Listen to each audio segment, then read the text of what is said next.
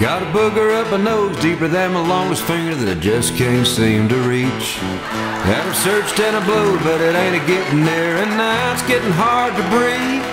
Well, I tried to ignore it, but it sounds like I'm snoring, and the people are staring at me.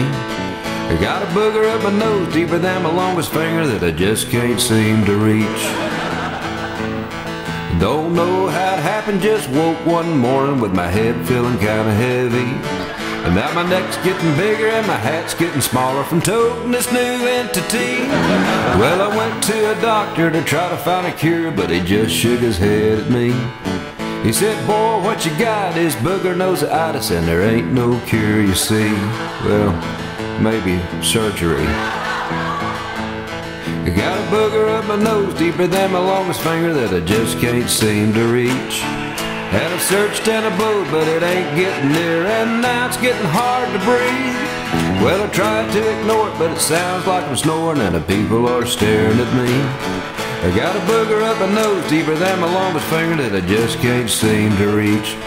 Well, I tried to grow my nails to see if that would help to get a better grip on things. But the further they grow, it goes. Now it's getting hard to sing. Got a booger in my nose deeper than my longest finger, and I just can't seem to.